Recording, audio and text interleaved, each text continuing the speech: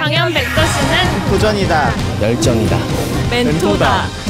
인생의 감동을 만나는 시간 강연 백도시 독학으로 두 아들을 명문대에 보낸 아버지 노태권 100일 만에 20kg을 감량 고도 비만을 극복한 한의사 백성일.